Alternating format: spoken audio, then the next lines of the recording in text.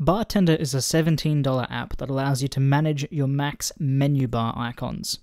What I mean by that is if you've been using your Mac for quite some time now, if you've been installing apps, you'll start to notice the bar at the top here, it starts to fill up.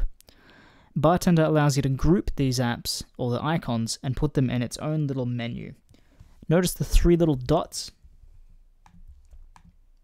Once I click that, it brings up the bartender menu. I can manage what icons go in here, and I can even hide them completely. It works really well, and it's an app that I use every single day.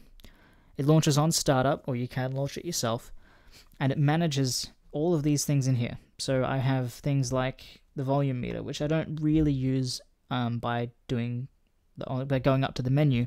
I normally just use the key combinations. I can hide that in Bartender, or I can hide it completely.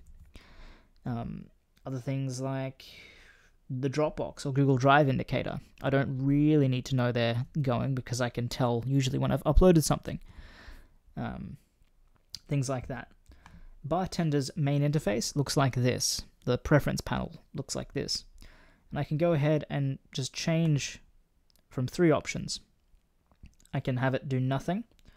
I can have it show in the bartender bar, or I can completely hide the icon. So let's go ahead and show you hide the icon.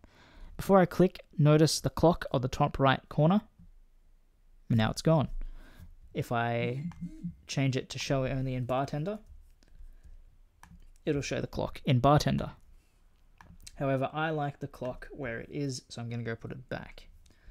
If I scroll down here, I can choose what apps I want in bartender just by hitting them individually and changing their value.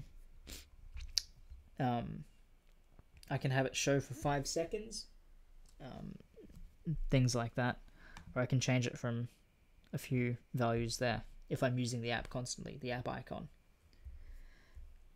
Another few things you can change, you can have it launch on startup, you can show the bartender bar um, all the time. The bartender bar does hover, so if I click on it, it will stay there along with other icons. So let's go ahead and try that. If I click away, it's still going to be there, but it sits on top of other windows. You can just then close it back again. Other things are the icon itself. You can select your own little icon to go in there. However, it does need to be a certain size in order to actually look good because it's only a few pixels up there. Um, I can have it a box. I can have it little man, which is the actual logo.